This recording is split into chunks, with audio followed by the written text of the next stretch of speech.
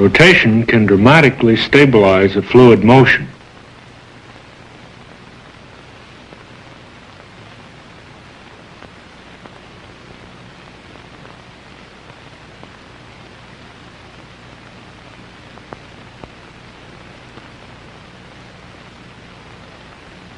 Many types of oscillations and wave motions occur in rotating flows, and there can be unexpected flow patterns. The large-scale motions of the atmosphere and the oceans, and even the motions of the stars and galaxies are strongly influenced by rotation. We shall look at a number of experiments which show some of the effects of rotation. To keep things reasonably simple, we shall look mainly at flows that deviate only slightly from a rigid body rotation, and we shall confine our attention to homogeneous fluids. When we observe the motions relative to a coordinate frame rotating at a constant rate omega, the velocity vector u is measured with respect to the rotating axes.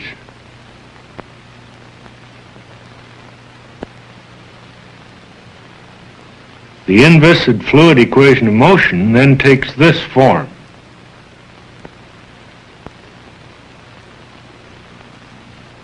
This much of the equation is identical to the non-rotating case. The relative acceleration is balanced by the pressure gradient and the gradient of the gravitational potential. In the non-inertial rotating frame, two additional terms are present. They are acceleration terms, but they are customarily written on the right-hand side of the equation and interpreted as forces. One, the centrifugal force, depends only on relative position and can be combined with the gravitational potential. The other term is the Coriolis force minus 2 omega cross u.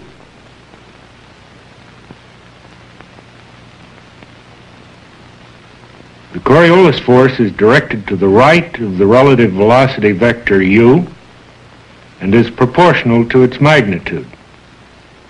It is the Coriolis force that gives rotating flows their most peculiar properties.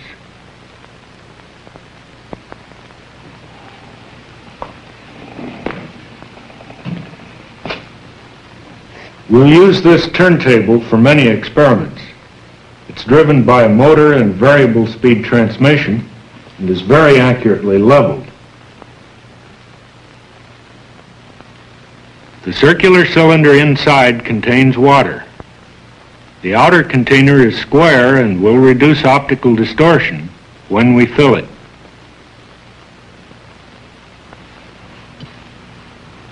We'll nearly always view the experiments from the rotating system, either in this camera mounted on the side or in this camera mounted on the top. First, we will use this vortex ring generator and launch a small colored fluid body horizontally across the cylinder. We are looking from above. The table is not rotating and the marked fluid travels straight along the diameter.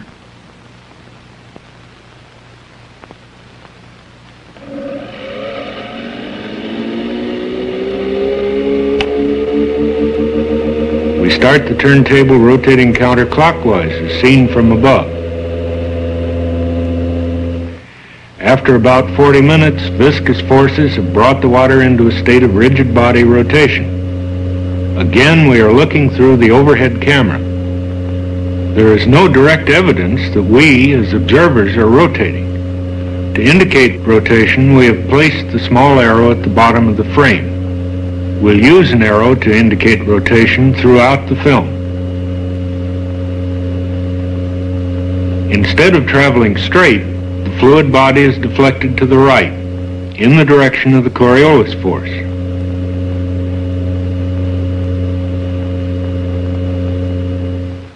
The effects of Coriolis forces on an extended fluid region are substantially different. This is a result of pressure gradients induced by the motion itself. And happens in the reaction of the oceanic tides to the Earth's rotation.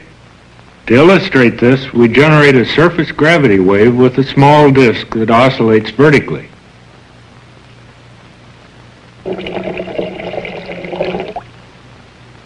With no rotation, we adjust the disk frequency to produce the lowest resonant sloshing mode of the fluid layer. We sprinkle aluminum dust on the surface to mark the fluid motion.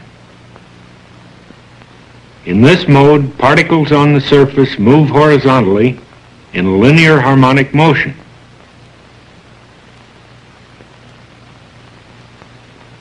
Now let's repeat the experiment with the fluid in rigid body rotation. There is a resonant sloshing mode at a frequency 15% higher than before. However, the wave is no longer a standing wave, but a progressive one, in which a single crest travels clockwise around the rim. The fluid particles move together in clockwise circular paths.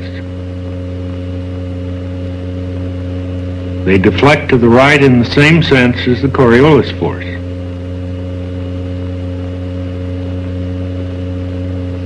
Here now, at the same rotation speed, is the second resonant frequency, 13% lower than in the non-rotating case. This progressive wave moves in the opposite direction, counterclockwise.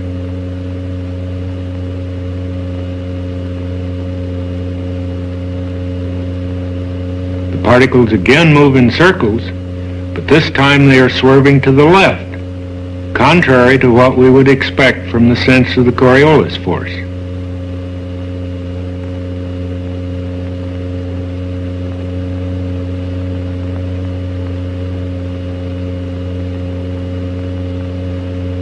This is a reminder that forces other than Coriolis forces are acting on elements of the fluid. In particular, the pressure gradient arising from the slope of the free surface has a different phase relation to the Coriolis force for this counterclockwise mode than for the clockwise mode. The main point here is that the interaction of fluid motions over the whole fluid region determines the local behavior.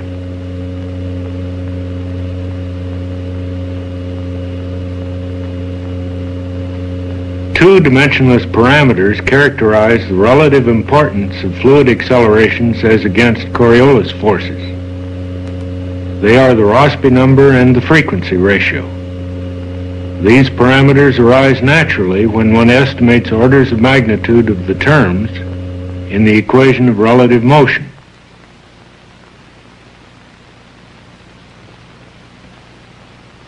The required terms are of these orders. Sigma is a characteristic frequency, U is a characteristic fluid velocity, and L is a characteristic length.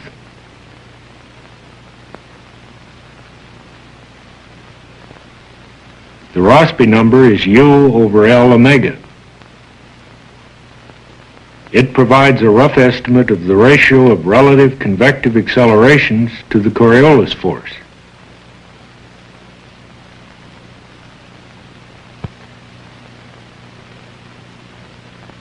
The frequency ratio is sigma over omega. It estimates the ratio of local acceleration to Coriolis force.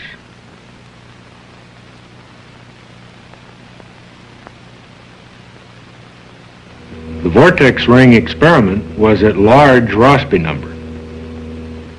The sloshing experiments had high frequency ratios.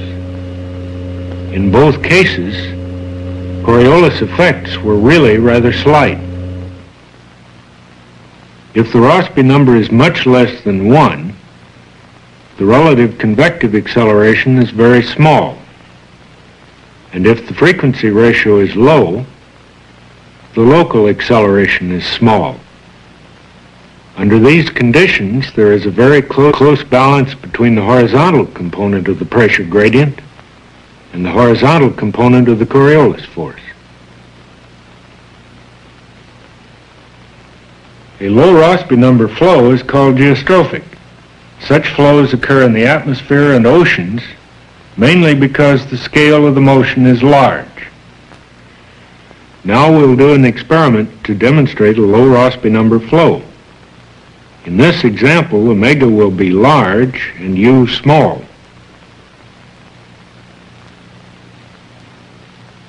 This ping pong ball is filled with just enough water so that it is almost neutrally buoyant.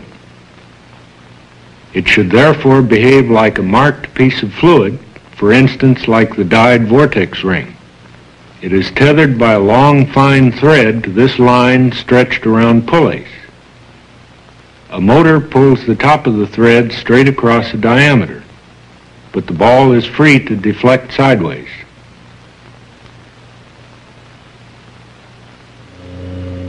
We are looking from above. The fluid has been rotating 30 minutes and is in rigid body rotation. The Rossby number is low. The towing speed is really very low, but the action is speeded up by time-lapse photography.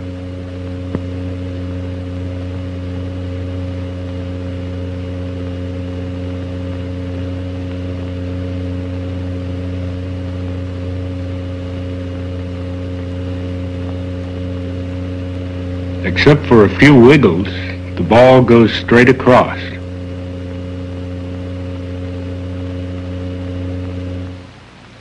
In contrast, here is the high Rossby number situation.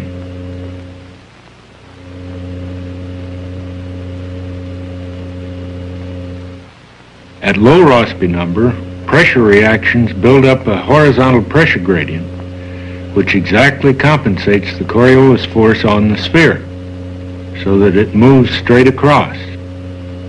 The reasons are associated with the flow pattern around the sphere. Here we are looking from the side. Dye crystals leave traces which mark the fluid over the ball.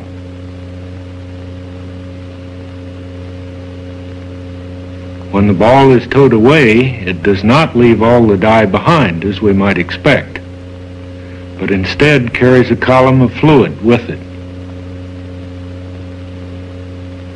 The explanation lies in a theorem proved by Taylor and Proudman that depends on vorticity considerations. This theorem shows that for low Rossby number, low frequency ratio, homogeneous flows, the motion is nearly two-dimensional in planes perpendicular to the rotation axis. Fluid lines parallel to the rotation axis are also the vortex lines of the absolute motion and tend to remain parallel to that axis.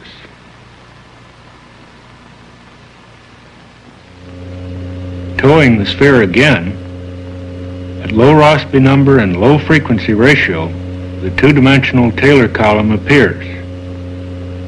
We increase the towing speed. At this high Rossby number, the motion becomes three-dimensional and the Taylor column is left behind. Here's the same motion seen from above. When the ball is accelerated, it swerves to the right like the earlier vortex ring. Now we have changed our setup so the sphere can be towed vertically, parallel to the rotation axis. The water is in rigid body rotation. Dye crystals mark the fluid above the sphere. We start towing at a very low Rossby number of about 1%. A few minutes later, we see that the dye is largely confined to Taylor columns above and below the sphere.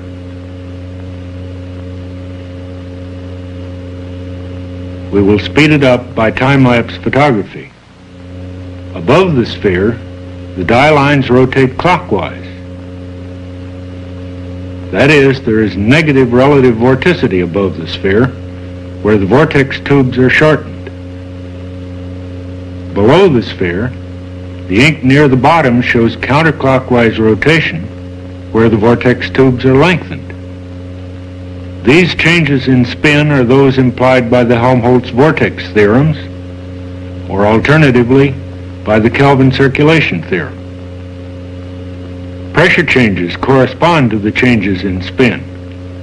There is an increase ahead and a decrease behind the sphere, so that the drag coefficient is very much increased.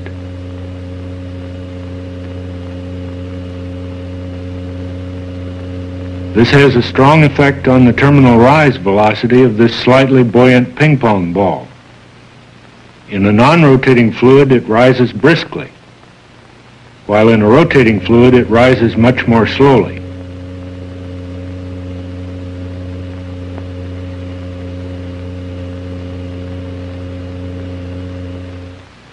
Here it is again.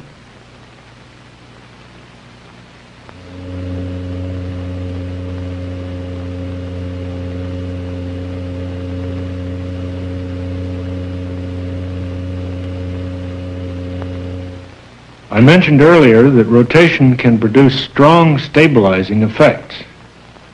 When neutrally buoyant ink is injected into stationary fluid, it spreads in a familiar turbulent way.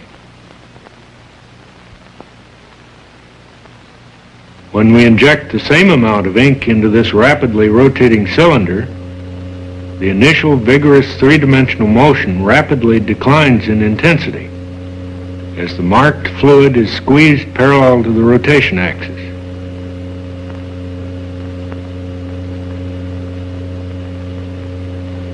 After a time, the motion has been converted to a strongly two-dimensional geostrophic flow in which the Rossby number and frequency ratio based on eddy size and velocity have become very small.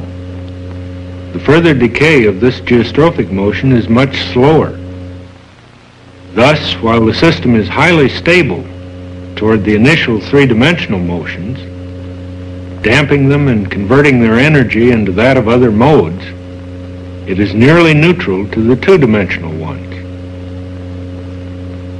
The dye is everywhere collected in Taylor walls, parallel to the rotation axis.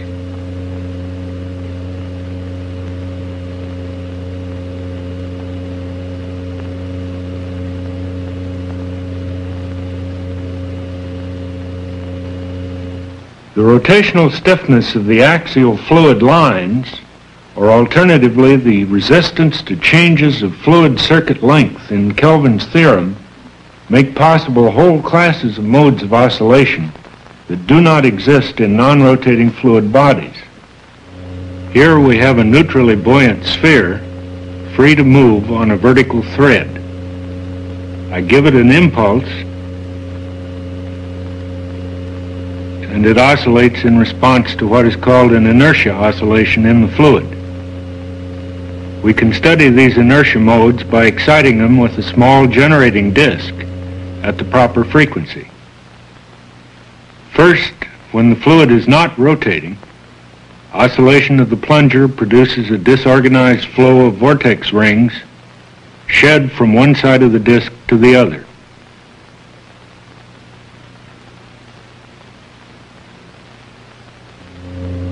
But with rotation and excitation at the proper resonant frequency ratio of one and one quarter, we produce an internal inertia wave mode with a nodal plane at mid-depth. Such oscillations with frequencies near the so-called inertia frequency 2 omega are common in the oceans and large lakes.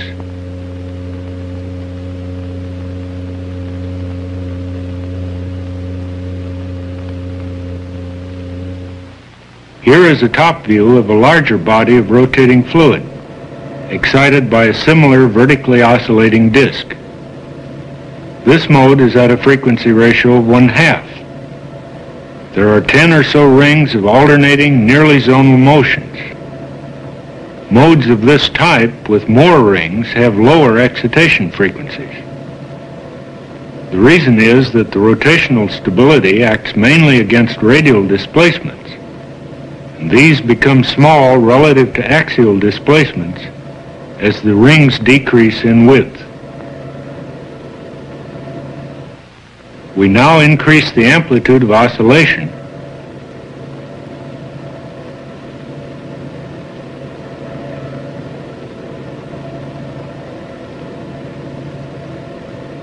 and you see the onset of one of the spontaneous instabilities for which Let's now look at a distinctly different class of oscillations known to meteorologists and oceanographers as Rossby waves.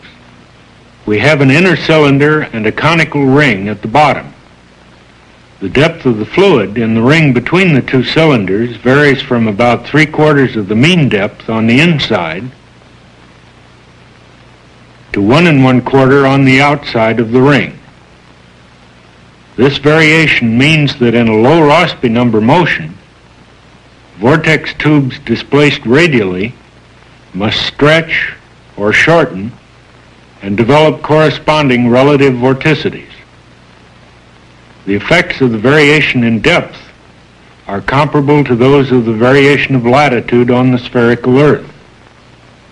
To produce the radial displacement of vortex tubes, we have placed on the cone a smooth radial mountain ridge whose height is only one-fortieth of the mean depth. Notice the camera lens produces the perspective effect of looking down a long, shiny tube. This is the reflection of the mountain in the sidewall underwater.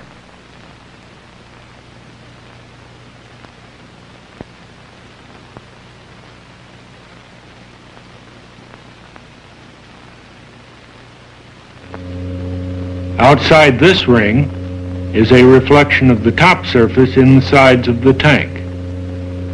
The rotation has been going on for about 40 minutes we generate a counterclockwise relative current by slowly reducing the rotation rate of the container. The speed of this current, about 4.5%, is such that a train of exactly five sinusoidal waves is excited downstream of the mountain.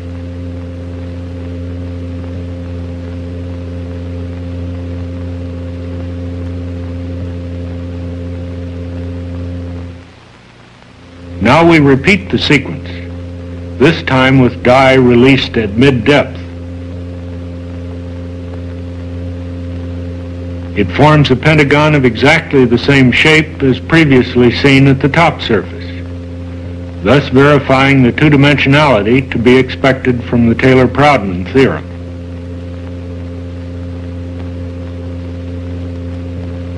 So far, I have skirted the question of viscous effects.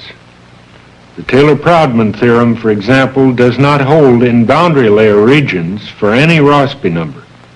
Here, the tank and water were in rigid body rotation, and I have just increased the speed of the tank slightly. Dye tracers show that the main body of the fluid is rotating clockwise relative to the camera, while there is a strong outward flux in the viscous layer at the bottom. This is called an Ekman boundary layer. A vertical sinking motion in the fluid above is required to supply it. This flow in the inviscid region stretches the vortex tubes and increases their spin rate up to the new value much more rapidly than would otherwise be the case.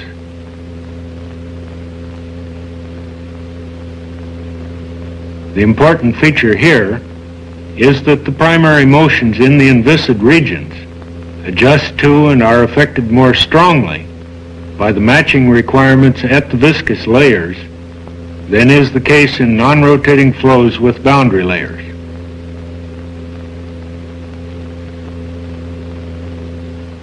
If the inviscid region currents vary from one place to another, the transverse Ekman layer fluxes vary requiring exchanges of fluid between the viscous and the inviscid regions that may be quite localized. This cylinder has a central disc which is flush with the clear plastic bottom. The disc will be rotated at a slightly smaller speed than the cylinder.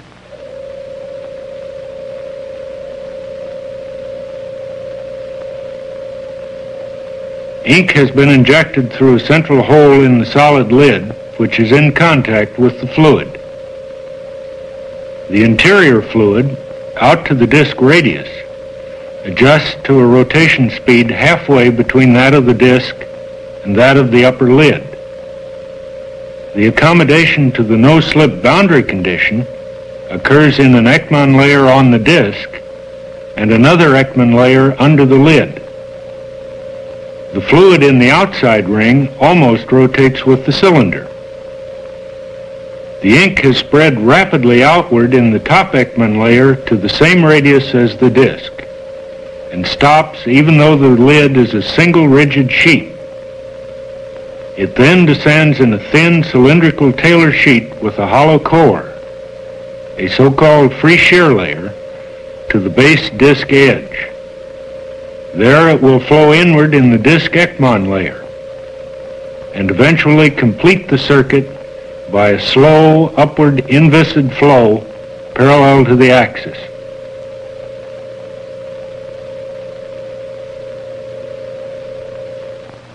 In this film you have seen many of the effects that occur in nearly rigid rotations of homogeneous fluids. When Rossby numbers or frequency ratios are high, we often see rather direct reactions to the Coriolis forces.